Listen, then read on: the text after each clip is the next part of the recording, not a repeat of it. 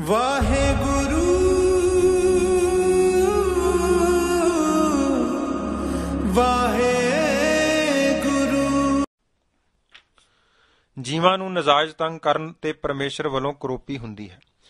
ਬਾਬਾ ਜੀ ਦੀ ਛਪਰੀ ਦੇ ਸਾਹਮਣੇ ਉੱਤਰ ਵਾਲੇ ਪਾਸੇ ਜੋ ਖੇਤ ਸਨ, ਇੱਕ ਦਿਨ ਉਸ ਖੇਤ ਵਿੱਚ ਇੱਕ ਪ੍ਰੇਮੀ ਨੇ ਸਵੇਰੇ ਤੜਕੇ ਤੋਂ ਹਲ ਵਾਹੁਣਾ ਸ਼ੁਰੂ ਕੀਤਾ ਹੋਇਆ ਸੀ। ਭਾਦਰੋਂ ਮਹੀਨੇ ਦਾ ਹੁਮਸ ਭਰਿਆ ਦਿਨ ਸੀ। ਗਰਮੀ ਬਹੁਤ ਪੈ ਰਹੀ ਸੀ, ਸਿਖਰ ਦੁਪਹਿਰ ਦਾ ਸਮਾਂ ਹੋ ਗਿਆ। ਉਹ ਪ੍ਰੇਮੀ ਆਪ ਵੀ ਪਸੀਨੋ ਪਸੀਨੀ ਹੋਇਆ, ਭੁੱਖੇ ਧਰਾਏ ਡੰਗਰਾਂ ਨੂੰ ਮਾਰ-ਕੁੱਟ ਕਰਦਾ ਉਹਨਾਂ ਪਾਸੋਂ ਹਲਦੀ ਵਗਾਰ ਲੈ ਰਿਹਾ ਸੀ।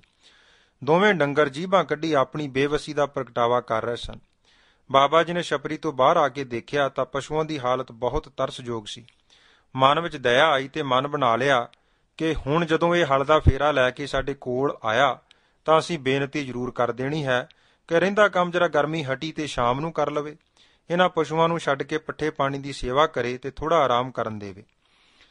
ਮਨ ਬਣਾ ਕੇ ਆਪ ਜੀ ਉਸ ਦੇ ਕੋਲ ਗਏ। ਮਨ ਵਿੱਚ ਜੋ ਪਸ਼ੂਆਂ ਪ੍ਰਤੀ ਦਇਆ ਦਾ ਫੁਰਨਾ ਬਣਿਆ ਸੀ, ਉਹ ਕਹਿ ਦਿੱਤਾ, ਅੱਗੋਂ ਉਸਨੇ ਉੱਤਰ ਦਿੱਤਾ ਕਿ ਮੈਂ ਵੀ ਸਵੇਰ ਦਾ ਇਹਨਾਂ ਦੇ ਨਾਲ ਹੀ ਲੱਗਾ ਹੋਇਆ ਹਾਂ। ਤੁਸੀਂ ਆਪਣਾ ਕੰਮ ਕਰੀ ਚਲੋ, ਜੱਟਾਂ ਦੇ ਕੰਮ ਵਿੱਚ ਦਖਲ ਨਹੀਂ ਦੇਈਦਾ।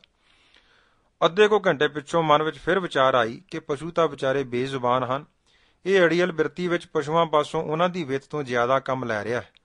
ਅੱਤ ਦੀ ਗਰਮੀ ਹੈ, ਜੇ ਉਹ ਵਿਚਾਰੇ ਬੇਬਸ ਹਨ, ਤਾਂ ਸਾਨੂੰ ਆਪ ਹੀ ਉਹਨਾਂ ਦੇ ਦੁੱਖ ਸੁੱਖ ਦਾ ਖਿਆਲ ਰੱਖਣਾ ਚਾਹੀਦਾ ਹੈ। ਮਨ ਬਣਾ ਕੇ ਫੇਰ ਉਸ ਨੂੰ ਜਾ ਬੇਨਤੀ ਕੀਤੀ ਕਿ ਭਾਈ ਸਾਡੀ ਬੇਨਤੀ ਮੰਨ ਕੇ ਇਹਨਾਂ ਨੂੰ ਛੱਡ ਦੇ। ਨਾਲ ਹੀ ਕਿਹਾ ਕਿ ਫਸਲ ਦੇਣੀ ਜਾਂ ਬਰਕਤ ਪਾਉਣੀ ਪਰਮੇਸ਼ਰ ਦੇ ਵਸ ਵਿੱਚ ਹੈ। ਜੇ ਉਸਨੇ ਦੇਣਾ ਹੀ ਹੈ ਤਾਂ ਇਹ ਜ਼ਰੂਰੀ ਨਹੀਂ ਕਿ ਜ਼ਿਆਦਾ ਵਾਹੁਣ ਨਾਲ ਹੀ ਦੇਵੇ। ਨਾਲੇ ਜਦੋਂ ਅਸੀਂ ਇਹਨਾਂ ਪਸ਼ੂਆਂ ਨੂੰ ਜ਼ਿਆਦਾ ਤੰਗ ਕਰਾਂਗੇ ਤਾਂ ਇਹਨਾਂ ਬੇਜ਼ੁਬਾਨਾਂ ਦੀ ਹਾਂ ਵੀ ਪੈ ਜਾਂਦੀ ਹੈ।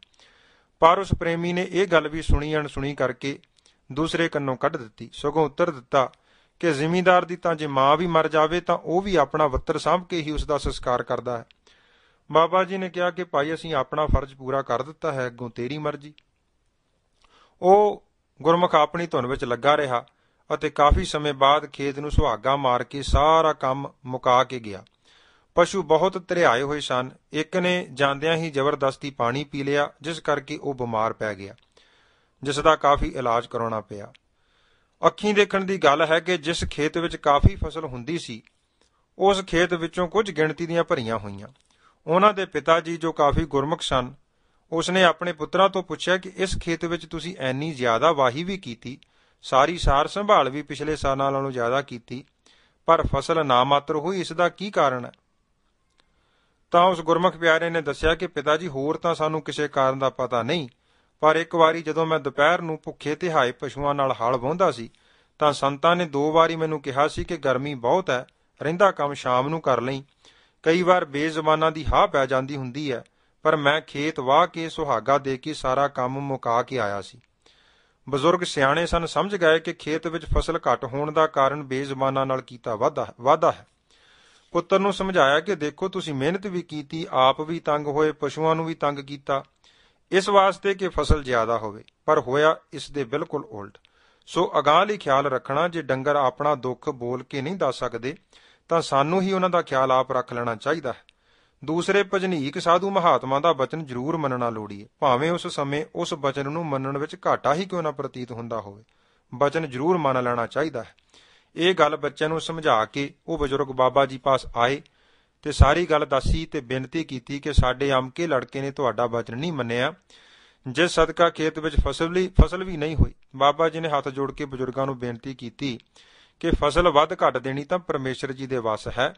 ਉਸ ਦਿਨ ਗਰਮੀ ਬਹੁਤ ਜ਼ਿਆਦਾ ਸੀ, ਡੰਗਰ ਭੁੱਖੇ ਤੇ ਹਾਏ ਸਨ, ਜਿਸ ਕਰਕੇ ਸਾਨੂੰ ਉਹਨਾਂ ਦੀ ਤਕਲੀਫ ਮਹਿਸੂਸ ਹੁੰਦੀ ਸੀ। ਸਾਡੇ ਪਾਸੋਂ ਸਹਾਰੀ ਨਹੀਂ ਗਈ। ਕਿਉਂਕਿ ਸਾਡੇ ਸਾਹਮਣੇ ਮੂੰਹ ਵਿੱਚੋਂ ਜੀਭਾਂ ਕੱਢੀ ਹਰ ਫੇਰੇ ਲੰਘਦੇ ਸਨ। ਸੋ ਅਗਾਹ ਲਈ ਬੇਨਤੀ ਹੈ ਕਿ ਪਸ਼ੂਆਂ ਪਾਸੋਂ ਕੰਮ ਲੈਣਾ ਚਾਹੀਦਾ ਹੈ, ਪਰ ਉਹਨਾਂ ਦੇ ਵਿੱਤ ਅਨੁਸਾਰ ਤੇ ਬਿਨਾਂ ਕਾਰਨ ਸੋਟੇ ਨਾਲ ਕੁੱਟਣਾ ਵੀ ਨਹੀਂ ਚਾਹੀਦਾ, ਕਿਉਂਕਿ ਉਹਨਾਂ ਵਿੱਚ ਵੀ ਸਾਡੇ ਵਾਂਗ ਹੀ ਆਤਮਾ ਹੈ, ਜੋ ਦੁੱਖ ਸੁੱਖ ਮਹਿਸੂਸ ਕਰਦੀ ਹੈ। ਪਿਛਲੇ ਕਿਸੇ ਮਾੜੇ ਕਰਮ ਸਦਕਾ ਉਹ ਇਹਨਾਂ ਜੁਨਾ ਵਿੱਚ ਪੈ ਕੇ ਲੇਖਾ ਪੂਰਾ ਕਰ ਰਹੇ ਹਨ। ਜੇ ਹੁਣ ਆਪਾਂ ਉਹਨਾਂ ਨਾਲ ਵਾਅਦਾ ਕਰਕੇ ਕਰਾਂਗੇ ਤਾਂ ਆਪਣਾ ਲੇਖਾ ਬਣਾਵਾਂਗੇ। ਹੱਦ ਅੰਦਰ ਰਹਿ ਕੇ ਆਪਾਂ ਨੂੰ ਮਿਹਨਤ ਜ਼ਰੂਰ ਕਰਨੀ ਚਾਹੀਦੀ ਹੈ ਉਸ ਕੀਤੀ ਮਿਹਨਤ ਦਾ ਫਲ ਦੇਣਾ ਦਾਤੇ ਦੇ ਹੱਥ ਵਿੱਚ ਹੈ। ਸ੍ਰੀ ਗੁਰੂ ਨਾਨਕ ਦੇਵ ਸਾਹਿਬ ਜੀ ਦਾ ਗੌੜੀ ਰਾਗ ਵਿੱਚ ਫਰਮਾਨ ਹੈ, ਆਪਣ ਲੀਆ ਜੇ ਮਿਲੈ, ਤਾਂ ਸਭ ਕੋ ਭਾਗਟ ਹੋਏ ਕਰਮਾਂ ਉਪਰ ਨਿਬੜੈ, ਜੇ ਲੋਚੈ ਸਭ ਕੋਏ। ਅਥਵਾ ਵਿਣ ਕਰਮਾਂ ਕਿਛ ਪਾਈਐ ਨਾਹੀ, ਜੇ ਬਹੁ ਤੇਰਾ ਧਾਵੈ। ਸਭ ਜੀਆਂ ਅੰਦਰ ਪਰਮੇਸ਼ਰ ਦੀ ਜੋਤ ਜਾਣ ਕੇ ਵਰਤਾਓ ਕਰਨਾ ਲੋੜੀਏ। ਜੀਵਾਂ ਉੱਤੇ ਦਇਆ ਕਰਨੀ ਹੀ ਅਟਾਟ ਤੀਰਥਾਂ ਦਾ ਇਸ਼ਨਾਨ ਅਤੇ ਸਾਰੇ ਪੁੰਨ ਕਰਮਾਂ ਨਾਲੋਂ ਸ੍ਰੇਸ਼ਟ ਪੁੰਨ ਕਰਮ ਹੈ।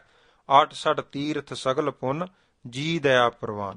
ਤਥਾ ਦੁੱਖ ਨਾ ਦੇਈ ਕਿਸੈ ਜੀ, ਪਤ ਸਿਉ ਘਰ ਜਾਵੋ। ਸ੍ਰੀ ਗੁਰੂ ਨਾਨਕ ਦੇਵ ਜੀ ਨੇ ਤਾਂ ਦਇਆ ਨੂੰ ਹੀ ਦੇਵਤਾ ਤੇ ਖਿਮਾ ਨੂੰ ਮਾੜਾ ਮੰਨਣਾ ਕੀਤਾ ਹੈ। ਦਇਆ ਦੇਵਤਾ, ਖਿਮਾ, ਜਪ, ਮਾਲੀ ਤੇ ਮਾਨਸ ਪ੍ਰਦਾਨ। ਇਸ ਲਈ ਸਤਿਗੁਰਾਂ ਦੇ ਇਹਨਾਂ ਉਪਦੇਸ਼ਾਂ ਨੂੰ ਆਪਣੇ ਜੀਵਨ ਦਾ ਆਧਾਰ ਬਣਾਉਣਾ ਚਾਹੀਦਾ ਹੈ, ਤਾਂ ਜੋ ਅਸੀਂ ਵੀ ਗੁਰੂ ਖੁਸ਼ੀ ਨੂੰ ਪ੍ਰਾਪਤ ਕਰ ਸਕੀਏ।